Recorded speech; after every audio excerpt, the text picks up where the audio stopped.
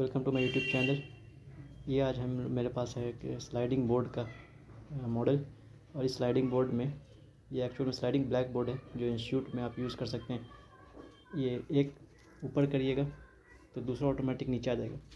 ये हम डिज़ाइन इस तरीके से किए हैं। बड़े बड़े इंस्टीट्यूट में फ़ॉरन में तो है इंडिया में भी कई इंस्टीट्यूट में इस तरह का है।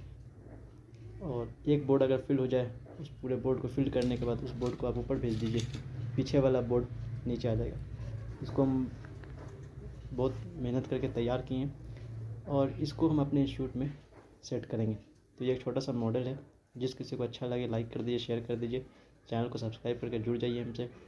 और जिस किसी का कमेंट हमको सबसे अच्छा लगेगा, उसको हम ये मॉडल गिफ्ट कर देंगे। तो कमेंट करके बताइए आपको ये कैसा लगा? Okay thank you